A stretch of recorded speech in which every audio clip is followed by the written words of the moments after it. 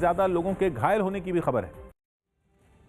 ओडिशा के कटक में ट्रक की चपेट में आने से एक साइकिल सवार लड़की की मौत हो गई। हादसे से पहले वो लड़की सड़क किनारे अपनी साइकिल चलाती दिखी तभी पीछे से आए ट्रक ने उसे टक्कर मारी। इस टक्कर के बाद साइकिल सवार लड़की लड़खड़ाने लगी और ट्रक की चपेट में आ गई। इस हादसे के बाद पुलिस ने आरोपी ट्रक ड्राइवर को पकड़ लिया।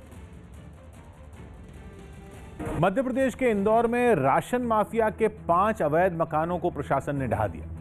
शिवराज सरकार के आदेश पर वहाँ पिछले कई दिनों से माफिया और दूसरे बदमाशों के खिलाफ कार्रवाई की जा रही है और इसी कड़ी में प्रशासन ने सरकारी राशन में हेराफेरी करने के आरोप में फंसे भरत देव और श्यामदेव के खिलाफ अभियान चलाया, जिसके तहत शहर के दो अलग अलग इलाकों में मौजूद इनके अवैध मकानों को ध्वस्त कर दिया गया।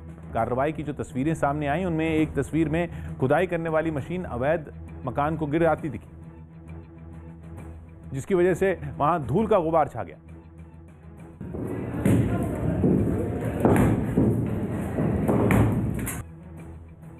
नगर निगम की इस कार्रवाई की वजह से वहाँ लोगों की भीड़ जमा हो गई, जिसे देखते हुए वहाँ पुलिस के जवानों को तैनात कर दिया गया, ताकि हंगामा होने पर हालात से निपटा जा सके।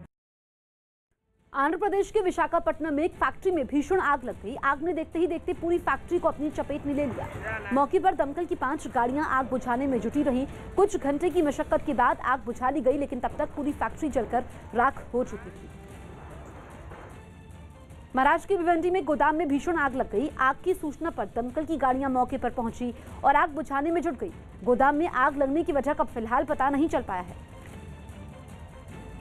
ड्रग्स तस्करी से जुड़े मामले में अब एनसीबी के रडार पर अंडरवर्ल्ड डॉन दाऊद इब्राहिम के ड्रग्स धंधे का पार्टनर मिनी दाऊद उर्फ़ कैलाश राजपूत है। न्यूज़ 18 के दिवाकर सिंह की रिपोर्ट है कि दाऊद इब्राहिम के भाई अनीस इब्राहिम के करीबी आरिफ भुजवाला से पूछताछ में कैलाश राजपूत का नाम सामने आया।